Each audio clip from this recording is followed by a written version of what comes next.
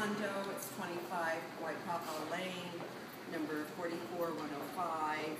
Open the auction. Uh, everyone, I'm sure, understands that you need to, after the auction, give me ten percent of, um, your winning bid, if you are the winning bid. It's being sold as is. There will be a confirmation hearing. If you've signed in, I'll let you know when the confirmation hearing is set for. It'll probably be